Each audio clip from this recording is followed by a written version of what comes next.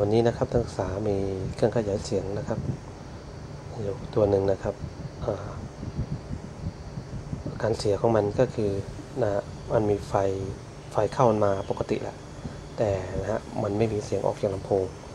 สอบถามก็บอกว่าอ่าก็คือเอาไปต่อสายสายช็อตกันอะผมรู้ช็อตกันยังไงนะครับนะสายสายช็อตกัน อันนี้ เดี๋ยวเราก็จะมาเปิดนะลองดูไฟก่อนนะดูก่อนว่ามีไฟออกจากลำโพงมาไหมอ่านี่ด้านหลังมันนะฮะจะเปิดสวิตช์อะอันนี้นะครับเปิดสวิตช์แล้วนะครับนะ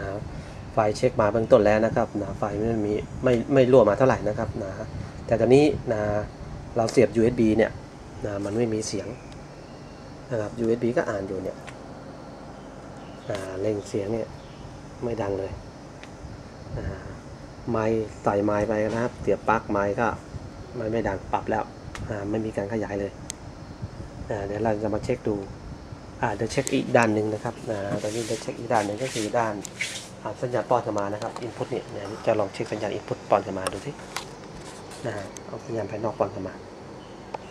ะนะครับป้อนสัญญาณนะครับอินพุตมาแล้วนะฮะสัญญาณนะครับเครื่องเล่นมาแล้วก็ไม่ดังเหมือนเดิมยังไม่ดังเลย อ่าเดี๋ยวจะมาแกะดูวงจรนะครับอะตอนนี้จะมาแกะดูวงจรภายในมาแล้วนะครับนะนะฮะมันอ่าขยายนะฮะนี่นะมีแผ่นที่ซิงนะนี่จะเป็นจุดขยายนะครับนะซ้ายขวานะครับ ซ้ายขวาเนี่ยจับเนี่ยร้อนจีเลยเนี่ยนะฮะ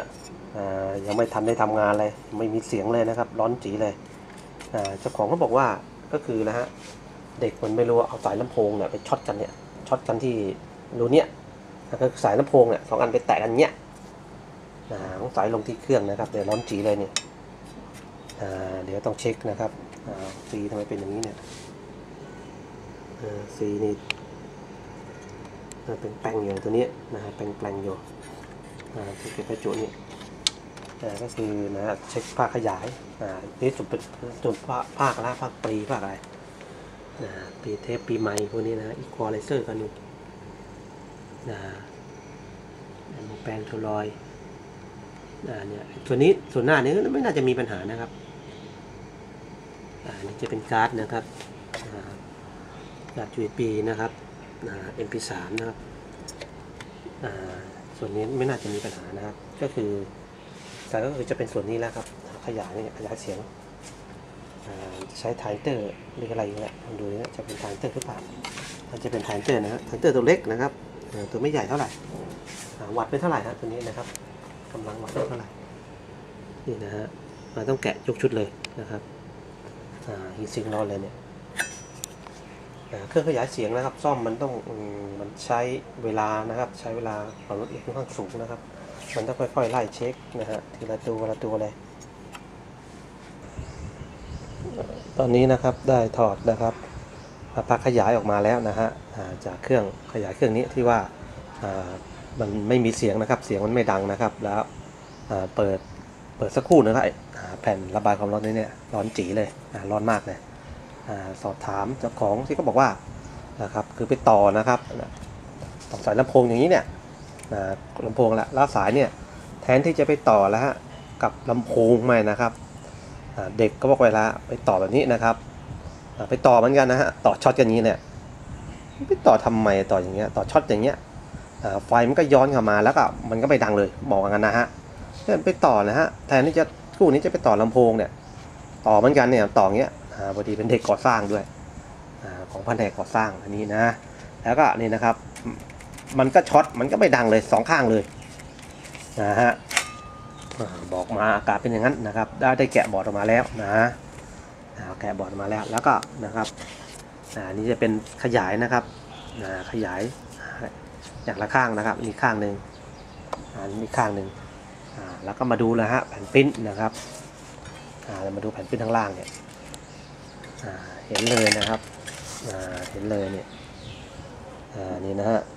นะฮะดูเนี่ยไหม้เลยเนี่ย เนี่ยช็อตอย่างแรงเลยเนี่ยนะครับ ปิ้นนะฮะ ปิ้นไหม้เลยอะเนี่ยนะครับเนี่ยเนี่ยปินนะเนี่ยนะฮะไหม้เลยเนี่ยขาดเลยฮะเนี่ย ขาดหมดเลย แสดงว่านะฮะโอ้โหว่าไม่รู้นะครับเนี่ยปิ้นขาดเลยเนี่ยอ่านี่ก็คือต้องเช็คผ้าขยายทั้งหมดเลยนะครับอ่าผ้าขยายทั้งหมดเลย ตัวนี้นะครับสองข้างเลยนะฮะแล้วก็มันร้อนมากนะน่าจะพังไปแล้วนะขยายน่าจะพังไปแล้วตอนนี้นะครับ เดี๋ยวเราจะมาวัดนะครับ power นะครับอ่าสี่ตัวนี้นะครับในวงจรนะ แต่มันช็อตอยู่แล้วนะครับนะไม่รู้ว่าช็อตตัวไหนกันแหละนะครับช็อตตัวไหนนะแต่ทั้งนี้และทั้งนั้นนะในการวัดในวงจรนั้นนะครับอ่ามันยังไม่ได้ร้อยเปอร์เซ็นต์นะครับ เราต้องถอดออกมาวัด แต่เราวัดคร่าวๆได้ว่านะครับอ่าตัวไหนที่มันช็อตไม่ช็อตอ่าเพราะทรานซิสเตอร์พวกนี้เนี่ยเราจะต้องแล้วเช็คทุกตัวเหมือนกัน อะไรทุกตัวเนี่ยจะต้องเช็คทุกตัวเลยนะครับเนี่ยพวกนี้ต้องเช็คทุกตัวเลย แต่ตัวนี้ตัวเล็กๆเนี่ยนะครับเราจะเช็คค่อนข้างจะลำบากหน่อยนึง นะครับอย่างตัวใหญ่ๆเนี่ยพอเช็คได้นะนี่ก็คือต้องนะครับต้องถอดออกมาเช็คกันแล้วกันถึงจะชัวร์นะครับแต่ตัวนี้จะวัดให้ดูคร่าวๆนะครับ วิธีการวัดทรานซิสเตอร์ไดโอดวัด FET ในวงจรนี่ครูก็ได้สอนมาแล้วไปดูคลิปเก่าๆแล้วกันอันนี้เราก็จะมาวัดนะครับในที่นี้นะในการวัดนี้นะครับเราต้องรู้ขาก่อนนะว่าอันไหนขา B ขา C ขา E นะครับเนอะถ้าจะเป็น MOSFET ก็อันไหน gate drain source นะครับอันนี้นะ อันนี้จะเป็นน่าจะจะเป็นทรานซิสเตอร์นะครับ จะเป็นทรานซิสเตอร์อ่าทรานซิสเตอร์ก็คือละถ้าเป็นตัวถังแบบนี้นะครับ ขาตรงนี้คือขาละ B ขา C แล้วก็ขา E แล้วนี่ต่อถึงกันขากลางกันเนี่ยต่อถึงกันนะครับขากลางกันตรงนี้นะครับที่เป็นโลหะที่ต่อถึงกัน แล้วจะมีไอ้ตรงนี้จะมีแผ่นระบายแผ่นละแผ่นแผ่นไมก้ารองไว้นะครับติดติดกับแผ่นระบายฮิตซิงค์นะครับจะมีไมก้ารองไว้นะเวลาใส่ก็ใส่ ใส่แผ่นไมก้าด้วยนะครับ บางคนน่ะลืมใส่แผ่นไมก้านะครับไม่ได้นะอันนี้เดี๋ยวก็จะวัดนะครับอะวัดตัวนี้ก่อนนะครับ รายการวัดนะครับเราวัดละ CE เลยนะครับ CE ก็คือละขากลางกับขาริมนี้นะครับ ขานี้อันเดียวกันนะอันเดียวกันนะอันนี้ครูก็จะวัดนะครับขากลางนะครับ ขากลางกับขาริมนะฮะ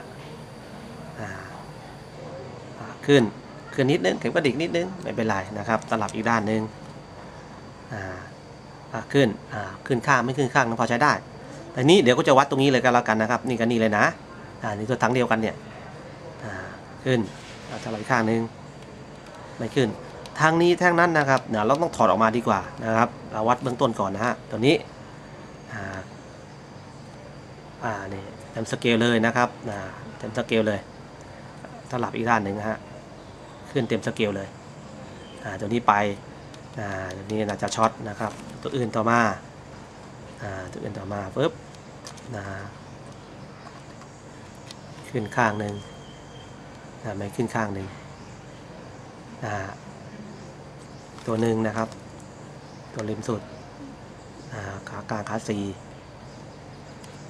ขึ้นข้างหนึ่งไว้ขึ้นข้างหนึ่งอ่าสี่ตัวนี่ปุ๊บนะตัวนี้นะฮะที่มันนะฮะอ่าที่มันนะฮะวัดแล้ว เข็มเต็มสเกลเลยนะไอ้ตัวนี้ช็อตแต่ทั้งนี้ทั้งนั้นไอ้ตัวนี้เราอย่าเพิ่งไปไหว้ไว้วางใจนะครับเราก็ถอดออกมาครับอันนี้นะครับเดี๋ยวครูจะดูดตะกั่วให้ดูนะครับ วิธีการดูดตะกั่วนะครับใช้สายไฟหรือสายชีนธรรมดานี่นะครับเดินไปดู YouTube เก่าๆแล้วกันนะครับแล้วก็ใช้ฟักนะครับ ตอนนี้นะครับถ้าเราจะใช้นะฮะเราจะใช้ตัวนี้นะครับดูดก็ได้นะครับนะที่ดูดตะกั่วดูดก็ได้นะครับนะครับ แต่ มันขึ้นอยู่กับใครถนัดทางด้านไหนนะครับ ดูดมาเนี้ยได้นะครับที่ดูดตะกั่วนะครับอันนี้กูจะถอดออกมาหมดเลยนะครับ จะถอดพิซิงฮิตซิงออกมาทั้งหมดเลยนะครับดูอย่างนี้ก็ได้นะครับที่ดูดตะกั่วนะครับจิ้มเข้าไปปุ๊บแล้วก็ดูดประมาณนี้นะฮะหรือจะใช้ที่ดูดสายดูดก็ได้นะครับ สายดูดเนี่ยคือเราต้องนะนะการตัดเช่นการสายคุณก็บอกไว้แล้วนะครับเราใช้อย่างนี้ก็ได้นะครับอ่านี่ดูดออกมาเนี่ย อ่า เต็มแล้วก็สลัดทิ้งสลัดเนี่ยใช้สายไฟธรรมดานี่แหละนี่นะฮะก็ได้นี่อันนี้ไม่ขึ้นอยู่กับเทคนิคของแต่ละคนนะครับนี่นะครับนะครับเนี่ยดูอย่างเงี้ยนะฮะอ่าอ่าอื่นต่อไปนะครับตัวนี้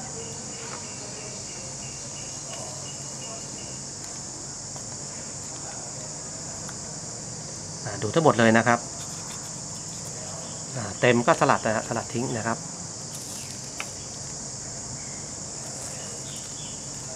เวลาวางหัวแรงก็วางนะฮะขนานเลยเห็นไหมหัวแรงก็ไม่ค่อยดีแล้วนะครับมันตึกหมดละอ่านี่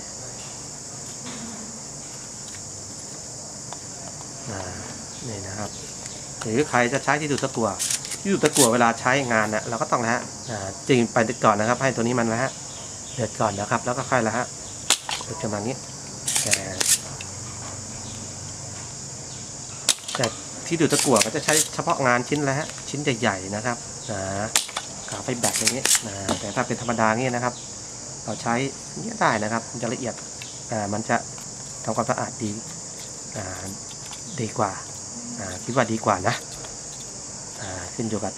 เทคนิคของแต่ละคนกันแล้วกันนะก็แล้วฮะจัดการมันตรงนี้เดี๋ยวก็ถอดออกมาทั้งหมดเลยเดี๋ยววัดทั้งหมดนะครับนะ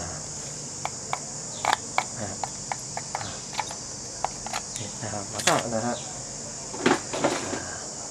อันนี้เป็นเทคนิคนะครับ เทคนิคของแต่ละคนนะเราได้แกะทรานซิสเตอร์ออกมาแล้วนะครับเนี่ยสี่ตัวนะครับอ่า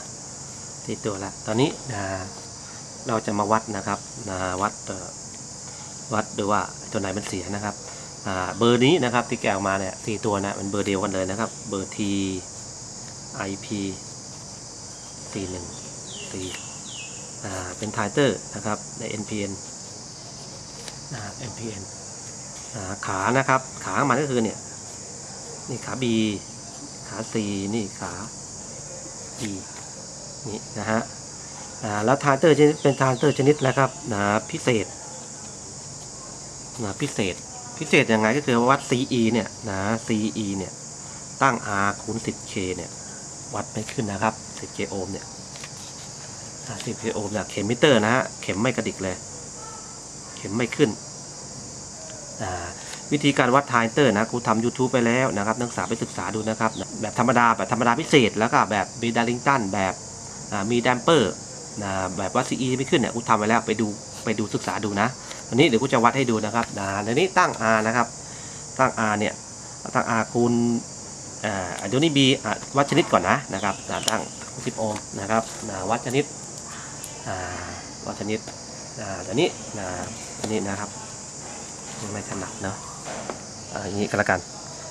เอาตัวนี้ก็แล้วกันนะฮะอ่าเป็นชนิด NPN จริงไหม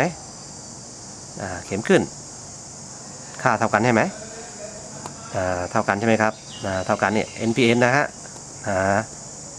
ต่อมาวัด CE นะ CE นะต้องตั้ง R แล้วฮะคูณ 10K ใช่ไหมแต่ถ้าเป็นทรานซิสเตอร์พวกนี้นะครับทรานซิสเตอร์พวกนี้นะฮะเธอไม่ต้องไปหาขา B ขา C ขา E หรอกนะมันจะเป็นตำแหน่งของมันบอกเลยตัวถังแบบนี้นะขาอยู่ตำแหน่งนี้ครูบอกใน YouTube ละเอียดเลยนะครับนะวิธีการวัดทรานซิสเตอร์ละเอียดยิบเลย อ่าอันนี้เราวัด CE เป็นเช่นพิเศษนะครับ ตั้ง R คูณ 10K นะครับนะ zero โอห์มก็ได้ไม่ต้อง zero ก็ได้ไม่ต้องซีโร่ก็ได้วัด CE เนี่ยตัวนี้มันดีอยู่ใช่ไหมวัด CE นะครับนี่ก็คือแล้ววัดสองขาที่เหลือนี่คือขา C ต่อถึงกันใช่ไหมอ่าต่อถึงกันใช่ไหมวัดปุ๊บขึ้นไหมอ่าไม่ขึ้นเห็นไหมอีกข้างหนึ่งขึ้นไหมฮะอีกข้างหนึ่งไม่ขึ้นนี่นะฮะ CE วัดไม่ขึ้นเลยนี่นะครับ CE วัดไม่ขึ้นเลย อ่านี่คือแบบพิเศษ บางคนไม่รู้ว่าวัด CE ไม่ขึ้นให้ขาดเลยเว้ยไม่ใช่นะครับนะเราเช็คได้นะครับนะเช็คเราใช้นิ้วแตะนะครับนะแตะลองขาบีเนี่ยมีการขยายไหมเนี่ยมีการขยายเห็นไหมเนี่ยอ่าวิธีเช็คนะฮะไปดู YouTube เก่าๆแล้วกันอ่าตัวนี้เดี๋ยวกูจะวัดนะสี่ตัวเนี่ยกูจะวัด CE เลยเนาะนะ CE เลยนะครับนะ CE เลยนะฮะตัวนี้ใช้ได้ตัวนี้ใช้ได้นะตัวนี้ใช้ได้อยู่นะอ่ามา CE เลยนะครับ ขึ้นไหมไม่ไม่ขึ้นนะครับตลับมิเตอร์ไม่ขึ้นดีไม่ดีนะครับ ดีไม่ดีเช็คดิเช็คแบบนี้ก็แตะแตะเร็วดีไม่ดีก็แตะได้นะครับ ทุกตัวแตะได้หมดนะเอาตัวนี้นะ CE ตัวนี้นะที่มันพันเป็นมันช็อตอยู่นี่นะครับ ขึ้นเลย ตัวนี้ขึ้นเลยตัวนี้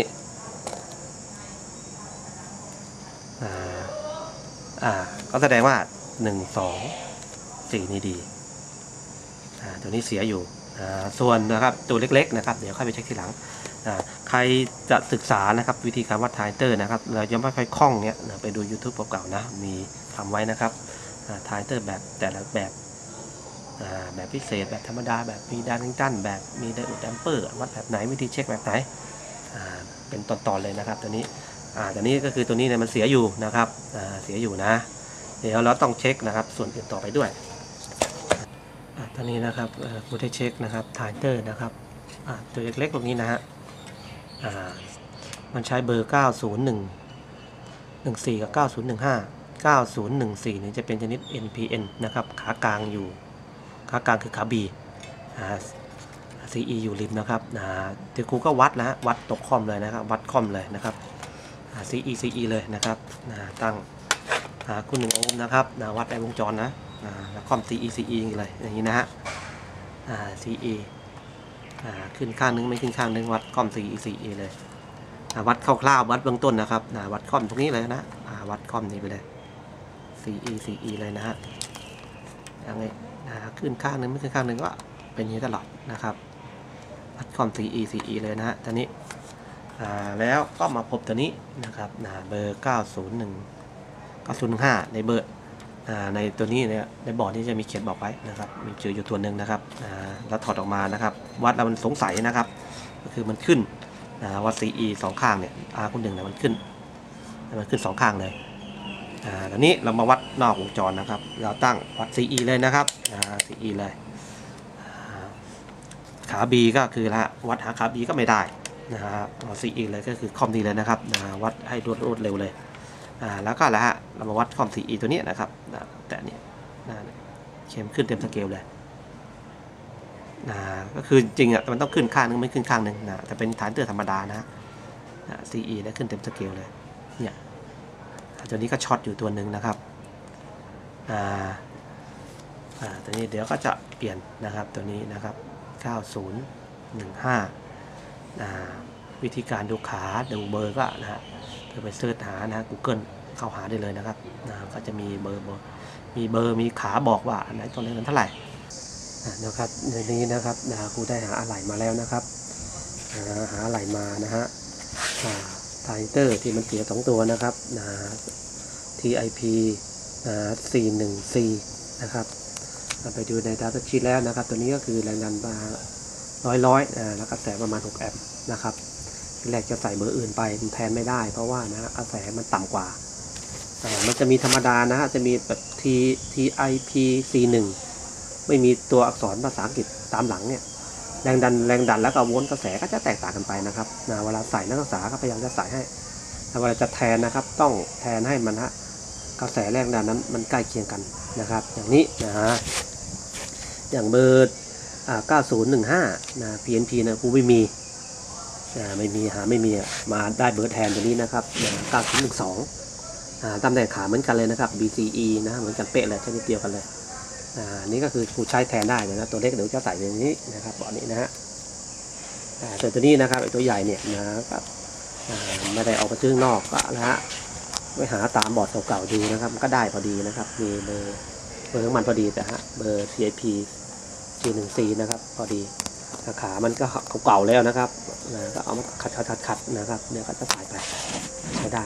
นี่เดี๋ยวเรามาใส่ลองดูนะครับจะลองดูที่ว่ามันใช้ได้ไหมนะฮะอะจะมาใส่ลองดูนะครับอะตอนนี้นะครับเราใส่นะฮะ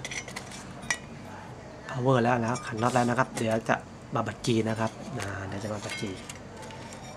วิธีการบัตจีก็สอนไปแล้วนะครับนะไปศึกษาดูนะ เราต้องทำด้วยตัวเองนะครับนะก็คือทำบ่อยก็จะคล่องนะครับเนี่ยกูจะอันนี้ที่กูทำให้ก็เพื่อเป็นนะฮะเป็นเทคนิคเพื่อเธอจะได้นะฮะเกิดทักษะอย่างนี้นะครับเวลาไปใช้งานจริงเนี้ยบางทีนะฮะถอดออกรู้ว่าตัวนี้เสียเวลาถอดนะฮะถอดไม่ดีมันก็จะทำให้ตัวอื่นนะฮะปิ้นเปิลเนี่ยลอกหมดเลยเวลาบัตรจีนะครับอ่าบัตรจีนะครับแต่นี้นะแรงนี่ไม่ค่อยดีละนะทีละตัวนะครับตัวนี้ก่อน อ่าปึ๊บนะนี่นะฮะนะค่อยๆบัดกีนะฮะอ่าใจเย็นๆนะครับวิธีการบัดกีต้องแล้วฮะอ่าจี้หัวแรกเข้าไปนะครับอ่าแล้วก็อะไรฮะอ่าให้มันอยู่ตรงข้ามกับเนี่ยนะครับ มันตรงข้ามกับชิ้นงานนะนี่อ่าแล้วค่อยๆยกนะครับ ไม่ใช่บางคนเรารีบยกเลยนะฮะ ไม่ได้ ปินมันดูมันใหญ่ไปหน่อยนะค่อยๆบัดกีเข้าไปตรงนี้นะทำช้าๆนะครับใจเย็นนะตัวนี้นะวิธีการถอดอุปกรณ์เหมือนกันนะก็สอนไปแล้วนะนะถอด IC ถอดทรานซิสเตอร์อะไรนี่นะ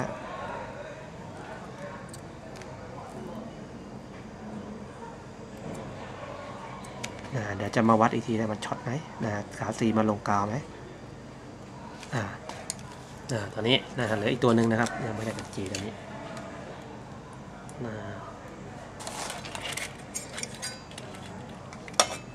ใส่เข้าไปนะฮะใส่เบอร์แทนเข้าไป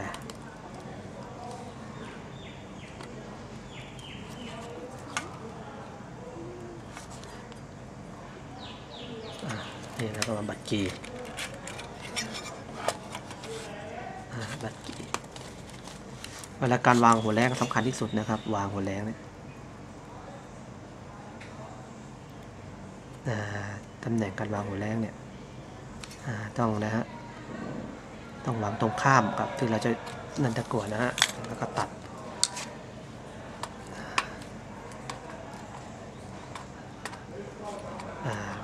แล้วเวลาก่อนบัดกีนะครับไอ้ตัวนี้มันจะมีไอ้ที่เราถอดออกมา มันจะมีคราบฟักอะไรอยู่ก็ใช้ที่เนื้อล้างกันแล้วกัน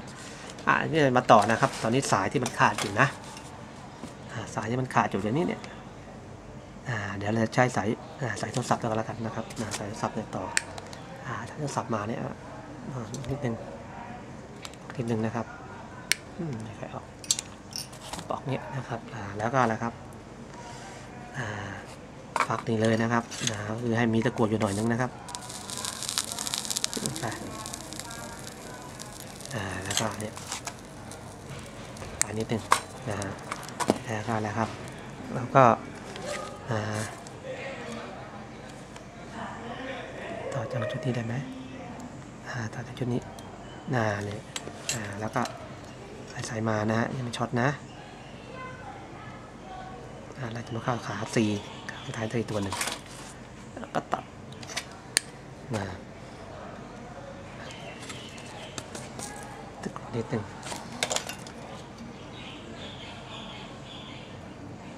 อ่าแล้วก็ทำความสะ อีกทีนึงนะครับล้างปริ้นอีกทีหนึ่งอ่ามันขาดอยู่นะครับ จะใช้สายสายอื่นก็ได้นะครับ สายไฟอื่นก็ได้อ่าสายโทรศัพท์แข็งมันแข็งหน่อยอ่านี่นะฮะถ้าพอแล้วฮะจัดสายมันดีๆ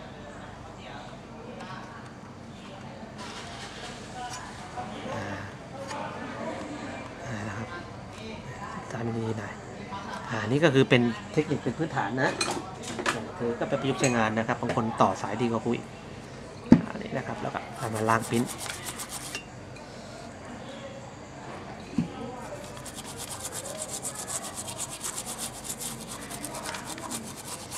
เอาเสร็จปริ้น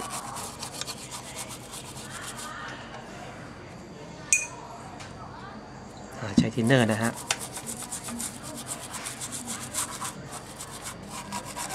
ล้างทำความสะอาดได้ทีละบัดกีไปนะถ้าไม่ล้างนะครับนะไม่ล้างมันจะเป็นพวกคราบพวก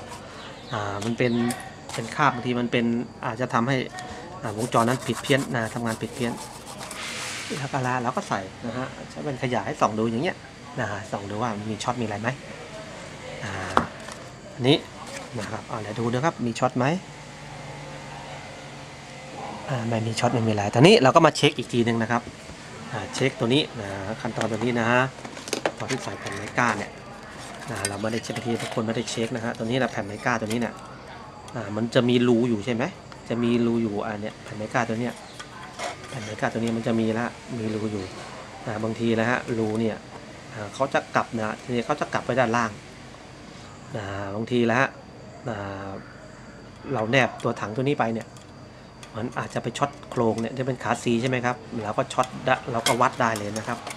วัดใช้มิเตอร์วัดนะฮะขา C กับตัวถังนี้มันช็อตถึงกันไหมขา C เนี่ยขา C ตัวนี้นะครับ มันจะลงตัวถังนี้หรือเปล่าลงตัวถังหรือเปล่าเราตั้ง R คูณ1โอห์มหรือคูณ10 โอห์มก็ได้นะครับ ตอนนี้ในกรณีถ้าเป็นลงตัวถังเนี่ยนะก็คือละขา C เป็นตัวถังเนี่ยมันก็จะละช็อตถึงกันเลยเข็มมิเตอร์ขึ้นเต็มสเกลเลยเนี่ยเห็นไหม ตั้ง R คูณ1โอห์มดีกว่าน่าจะเห็น LED นะครับ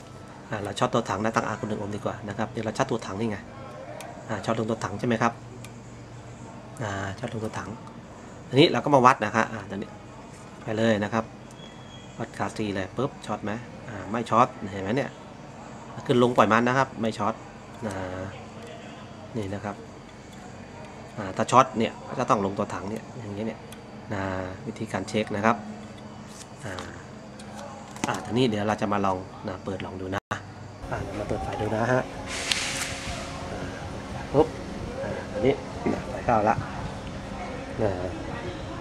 อ่าเรามาลอง USB เลยนะครับเดี๋ยวเราไม้ลองทีหลังนะครับเสียบ USB เลย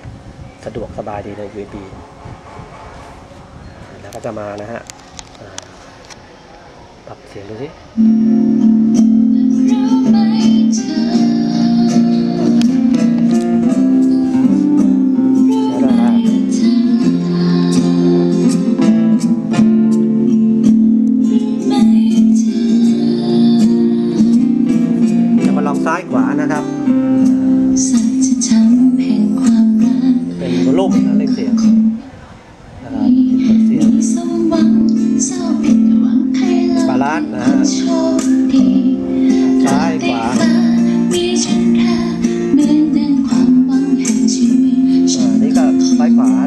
ตินะครับซ้ายขวาปกติ เสียงลูกเสียงทุบเสียงแหลมก็ปกติก็ใช้ได้มีเดียมเสียงกลางเสียงสูงเสียงแหลมนะครับนี่เราก็มาดูอีคิวอีควอไลเซอร์แต่ละข้างใช่ไหมเป็นตัวการ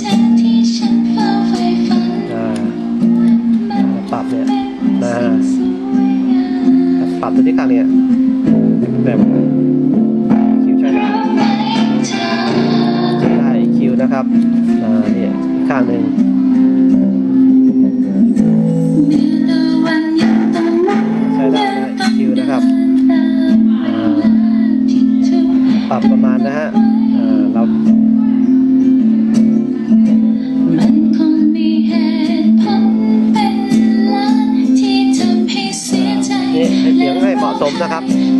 เราก็มาดูนะครับ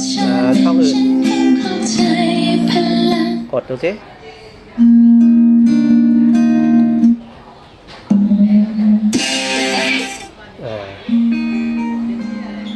ตอนนี้เราก็มาลองใหม่ดูอ่าเดี๋ยวจะมาลองใหม่นะครับ test test low test นะตัวที่หนึ่งนะฮะไม่ใช้ได้นะครับ test test test test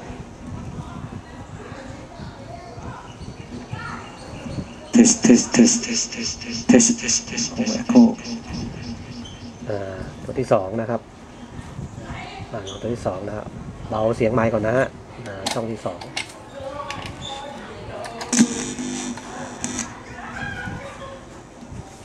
test test test test test test test test test test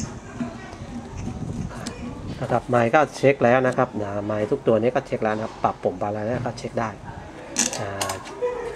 อ่าก็ทำทำงานนะฮะอ่าทำงานทุกตัวนะครับครบเป็นขยายอย่างเดียวนะฮะสรุปแล้วเครื่องนี้ก็นะครับเสร็จแล้วนะฮะเสร็จแล้วก็คือขยายมันเสียอยู่ก็คือเด็กเอาสายลำโพงไปช็อตกันนะ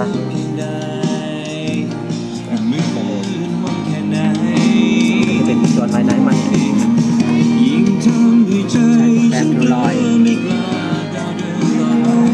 ก็ใช้นะครับเอ่อ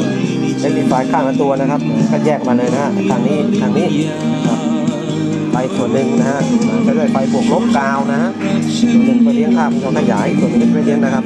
ภาคนะครับภาคปรีภาคปรี